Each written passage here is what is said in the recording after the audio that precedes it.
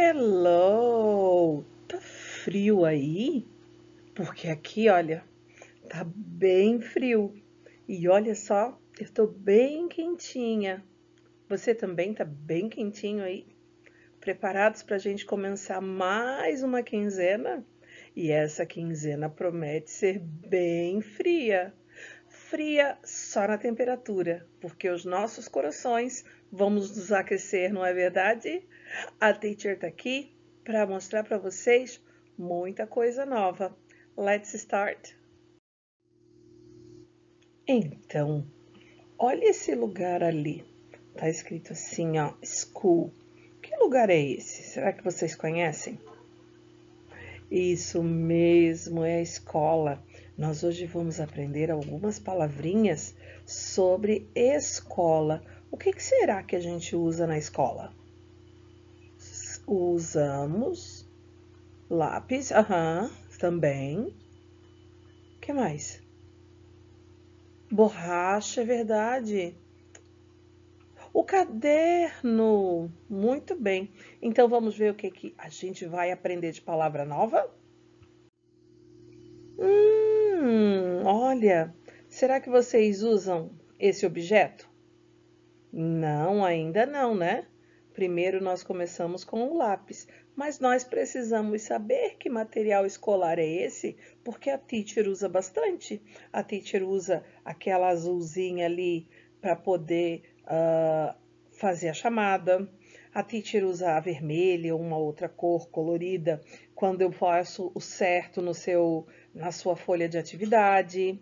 A teacher usa aquela bem grandona para escrever no quadro o número da nossa turma e às vezes alguma outra informação. Nós usamos então a caneta, muito bem. Então nós usamos a pen. Repete com a teacher. Pen. Mais uma vez. Pen. Excelente. Depois da pen, o que será que vai vir? Eu acho que eu ouvi alguém aí dizendo, hein? Vamos ver se é. Ah, é o lápis. Muito bem. É o pencil. Repete para teacher. Pencil. Mais uma vez. Pencil. Isso aí. Então, a gente já viu a pen, nós vimos o pencil e agora o que, que será que a gente vai ver? Hum, olha essa pilha. Um, dois, três, quatro, cinco, seis o quê? Seis livros, não é? Vocês usam algum livro? Usam? Olha, eu vou querer ver na próxima aula, hein? Quero ver quem vai lembrar de me mostrar. E me diga uma coisa, vocês têm livros de historinha? É? E vocês contam essas historinhas para a família de vocês? Sabia? Nós temos que contar muitas histórias, porque assim nós vamos nos tornar bons leitores. E isso é muito importante. Mas quando nós nos tornamos leitores, nós lemos livros, né?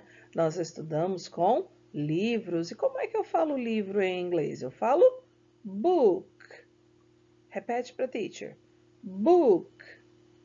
Mais uma vez. Book. Isso aí.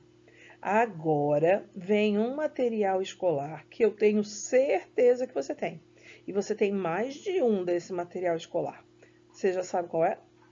Não. Eu acho que sabe. Você usa para colar as suas folhas de atividades. Você usa para copiar alguma coisa quando a professora ou quando a teacher passa. E você tem de matérias diferentes. É o Yes, isso mesmo, é o caderno. Então vamos repetir com a teacher, ó. Notebook.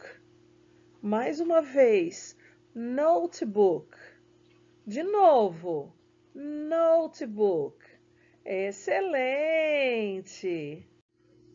Agora, aqui, esse material você também tem, é uma Borracha, isso mesmo. Olha, repete com a teacher. Eraser. Mais uma vez. Eraser. Repete de novo. Eraser. Muito bem. E será que tem mais algum? Não, mas tem uma tarefa para você fazer. Agora, você vai pegar o seu caderninho de inglês, vai lá, vai passar as folhinhas que já estão escritas, que já tem atividade colada. Aí, depois que passar todas as atividades, na primeira folha que tiver em branco, aí você coloca a data de hoje, August 2nd, né? August 2, 2021. E você vai copiar o que eu vou pedir agora, tá? Olha lá. Aí você pula uma linha da data e escreve assim, ó, at school. Aí pula uma linha e escreve pen, caneta, pencil, lápis, book, livro, notebook, caderno, eraser, borracha. Aí quando você acabar, tá pronto. Só que para fazer isso precisa ter bastante capricho, combinado?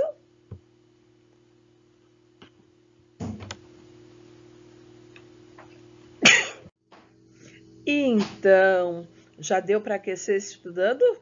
Com certeza, não é verdade? Aproveitem bastante a matéria desta quinzena e logo, logo a gente se vê. Kisses, bye bye!